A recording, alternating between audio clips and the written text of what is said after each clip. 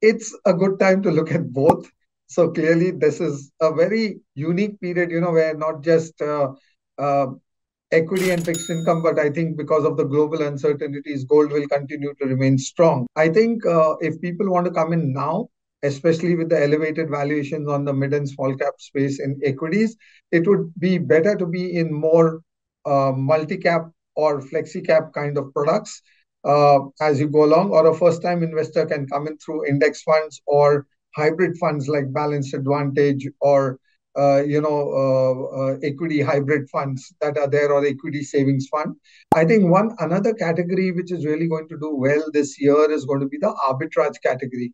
I think that's a category which uh, uh, few people have entered in in terms of individual. A lot of corporates do park their money, but it's a category which has really done very well in this last one year, and we continue to expect it to do well.